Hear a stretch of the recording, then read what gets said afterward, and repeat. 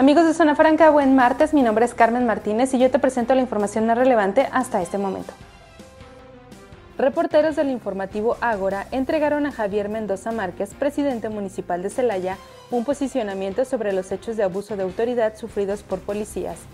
De ahí que reprobó enérgicamente la actuación y el alcalde se comprometió a generar protocolos de atención. Javier Mendoza reconoció que es urgente reforzar la capacitación de los elementos para que se apeguen al respeto a los derechos humanos y protección de los periodistas en el desempeño de su labor. El alcalde dijo que en su administración se garantizará la libertad de expresión, la libertad de prensa y la libertad de trabajo en la noble labor de informar.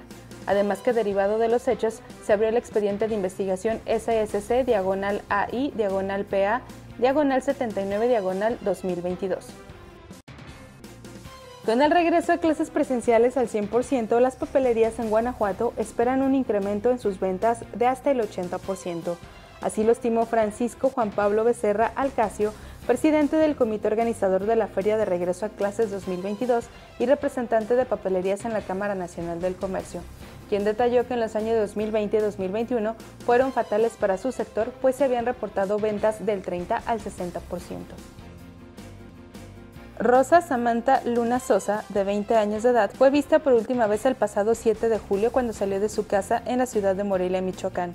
Tres días después fue encontrada sin vida en una carretera de Silao, Guanajuato, pero su familia recibió el aviso 35 días más tarde. Los familiares recordaron que Samantha salió el 7 de julio rumbo a su trabajo. Sin embargo, horas después no supieron nada de su paradero, por lo que presentaron una denuncia ante la Fiscalía General del Estado de Michoacán.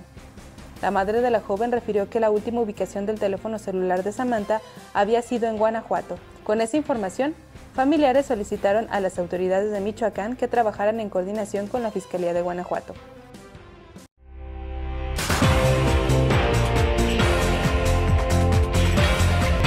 Quédense pendiente de todo nuestro contenido e información a través de nuestras redes sociales o en nuestro sitio web zonafranca.mx y más tarde vean el bloque informativo que les prepara Vania Jaramillo.